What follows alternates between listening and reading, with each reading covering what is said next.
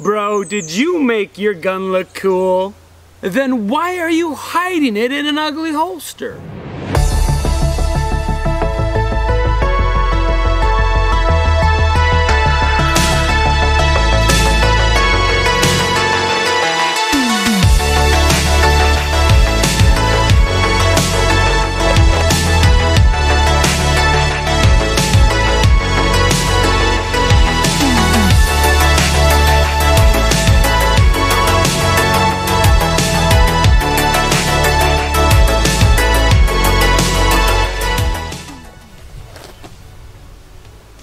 Spectermods did this corduroy wrap black multicam. This guy can rap.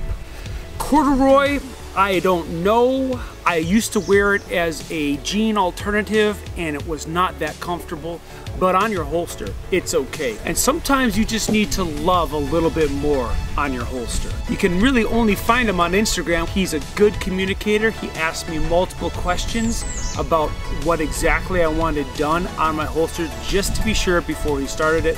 Some of his corduroy choices are a little bit weird, but this dude really rocks the corduroy wrap. So check him out. And now the Safariland holsters. Safarilands are my first love. This 7 Series holster is worth every penny. I have the, the forky thing on the back. It's great. If you have more than one belt, you need to do it because it's dumb not to. Because you just pop it off, pop it on. Fantastic. I have level 3 because I just figure I would love to have the ability to keep someone who's evil from getting my gun. And so I train with this in mind and I still stink at this. But I'm going to get better over the years and that's how it's going to be.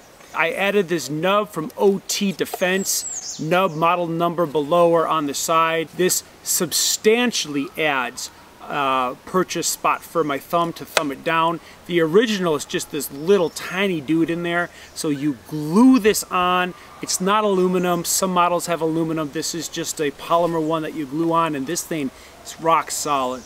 I also added their little wedge. It's this little foamy wedge that you put at the bottom. And so the flashlight compresses against it because when the uh, gun is in there and it's clamped around the chamber, it has about one ace worth of wiggle room. But with this foam wedge in the bottom, when you put your handgun in, the bezel depresses on it and actually takes up that wiggle. I really like it. So that is worth spending a couple bucks on in my opinion. I wrote my name right here. It's pretty cool with paint. What in the world is this dorky thing right here, you might be wondering? This is kind of clever. This is to keep water and debris from getting on your RDS, and so that is pretty cool. So this keeps stuff off of it. That's what that's about. And it looks weird, but I like it. That's pretty neat.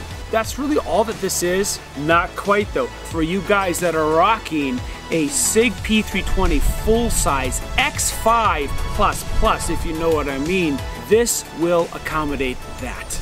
Check this out. Oh, it's way over there. Will it fit? Will it fit? Ladies and gentlemen, boom shakalaka. Boom shakalaka. Boom shakalaka. Ah, it's been a long week. I hope this has helped you guys out maybe giving you another option for uh, a 320 full X5 plus plus for what you can do and giving you the confidence to buy this Safariland 7 Series holster with confidence. As always guys, ride fast, shoot straight, and we'll see you next time.